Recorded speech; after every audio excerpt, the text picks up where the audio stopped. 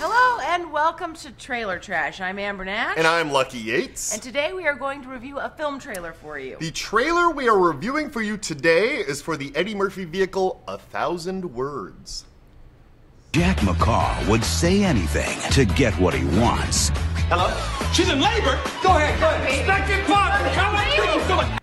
I gotta, I gotta say, I really don't know what's going on in this trailer. What? What's not to understand? Uh, Eddie Murphy plays a fast talking liar who eventually lies to the wrong man. Who is an ethnic man? No, he's a magical Asian man. I don't. I actually don't think he's Asian. He's wearing a karate suit. No, he's just wearing a white suit and no shoes. Yeah, and that is a A karate, suit. Yeah. You agree to have my book published? That goes without saying. You have my word, sir. To the wrong guy. Eddie Murphy lies to him, and then so he uses his magical karate powers to make a tree grow. This magical tree takes away the one thing that Eddie Murphy's got going for him over every other actor in Hollywood, which is his rapid fire speech pattern. So for the rest of the trailer, we get a lot of this.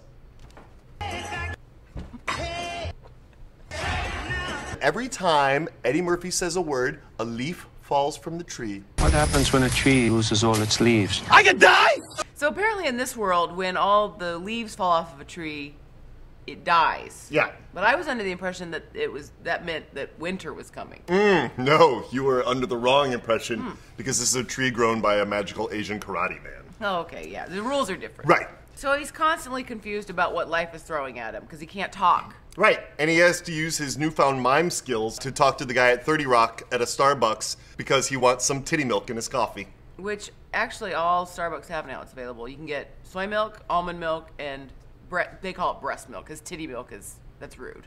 That being the case, I am going immediately to Starbucks when we're done shooting and I'm going to get a titty milk latte. I'm hoping I get to choose the titty. No, no, they just have one lady in the back hooked up to a pump.